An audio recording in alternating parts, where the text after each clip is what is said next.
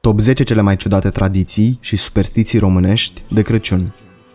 Salut oameni buni și nebuni, dar mai mult nebuni. Bine ați revenit pe pulzero.com. Eu sunt Puls, iar în acest episod din Top 10 vreau să vă prezint clasamentul celor mai ciudate tradiții și superstiții românești de Crăciun. Așa că, fără alte detalii, începem clasamentul.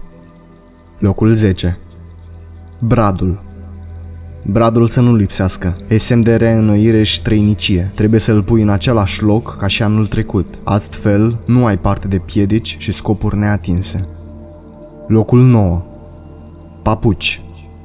Nu purta încălțăminte nouă. Ai niște ghetuțe nou nouțe pe care abia le aștept să le porți? Dacă vrei să nu atragi ghinionul asupra ta, nu le purta în zilele de Crăciun. Locul 8. Spălarea trupului. Spălarea trupului în ziua de Crăciun înseamnă că vei fi curat tot timpul anului care urmează, iar trupul tău va fi ferit de boli de piele, de pete sau de bube până la sărbătoarea următoare. În apa în care te scalzi se spune că este bine să pui o nucă pentru sănătate și o monedă de argint pentru prosperitate și pentru curățirea sufletului. Locul 7. Daruri dacă în ziua de Crăciun nu dăruiești nimic celor dragi, se spune că o să ai un an greu din punct de vedere financiar. Atenție, aici nu se dă nimic cu împrumut. Pentru a nu fi dator anul următor, se spune că până în ajunul Crăciunului este bine să pui la locul lor toate lucrurile pe care le-ai dat cu împrumut în timpul anului. Locul 6. Duhuri alungă farmecele și duhurile rele cu usturoi. La fel ca în seara de Sfântul Andrei, pentru a arunca farmecele și duhurile rele, se așează căței de usturoi pe masă și la ferestre. Seara, dă-ți cu usturoi pe frunte, la coate și în genunchi, să nu se țină de tine duhurile rele. Locul 5 Plăcinta de pe masă să nu lipsească plăcinta, iar toți musafirii trebuie să guste din ea pentru a avea un an prosper. Și nu uita să pui un ban, un inel și un degetar în plăcintă. Se spune că cine găsește porția cu bănuțul va avea noroc. Cel care primește inelul va avea parte de o nuntă, iar cel care dă peste degetar va avea un an înfloritor, din toate punctele de vedere. Locul 4 Spirite pe 24 spre 25 decembrie, noaptea, lasă ușa larg deschisă ca să iasă spiritele rele din casă. Locul 3 Lumânări nu stinge lumânările. Lumânările aprinse noaptea de Crăciun trebuie să fie lăsate să se stingă singure pentru a avea un an bun. Locul 2 Broasca moartă Omorârea unei broaște în ziua sfântă de Crăciun este considerată a fi un mare păcat, căci broasca este unul dintre animalele protejate de Maica Domnului, vestind celorlalte animale nașterea Domnului. Nu uitați, după locul 1 mai este locul 0, pentru că vă aflați pe puls 0. Locul 1. Panică. Nu te panica dacă răstorni cutia de chibrituri, dacă vergi vin pe masă, dacă stiuie urechea, dacă dai de pomană sau dacă atingi cocoașa unui cocoșat. Aceste lucruri prevestesc numai noroc tot anul.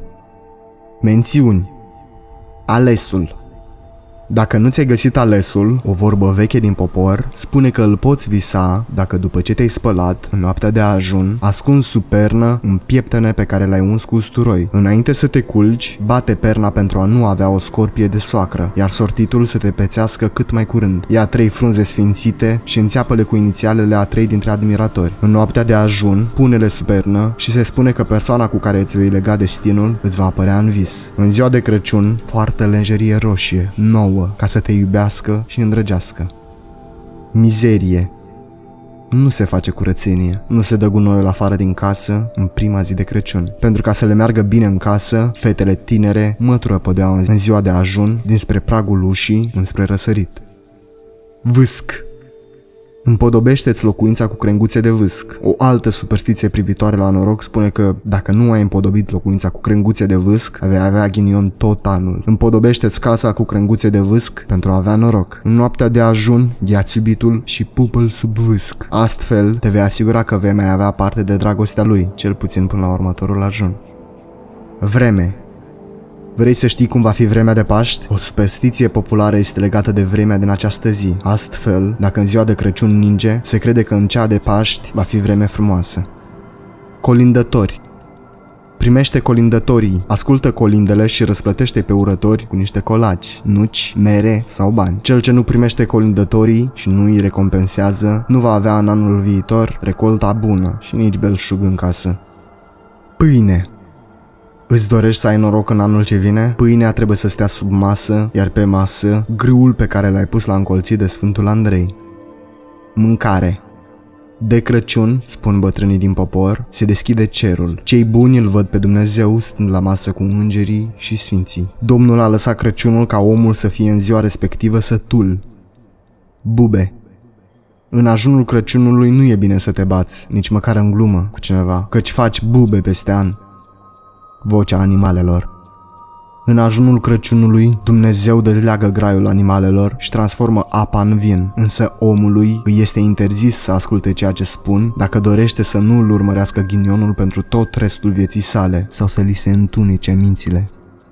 Sunt extrem de multe tradiții și superstiții românești de Crăciun, dar nu mai am posibilitatea să adaug la mențiuni. Dacă doriți să contribuiți la aceste mențiuni, lăsați un comentariu. Locul 0 Ghinion Prima persoană care intră în casă în ziua de Crăciun e musai să fie un bărbat și mai ales brunet sau șaten. E aducător de noroc. Dacă e roșcat, e roz de ghinion, iar dacă îți calcă pragul o femeie, aduce ghinion tot anul. Am încheiat clasamentul. Vă mulțumesc că ați urmărit acest episod din Top 10. Scrieți-mi într-un comentariu părerea voastră despre episod, dați un like sau un dislike dacă nu aveți chef să scrieți. Puteți da și subscribe deoarece în săptămânile ce urmează voi mai face clasamente pe tot felul de subiecte care au legătură cu Puls 0.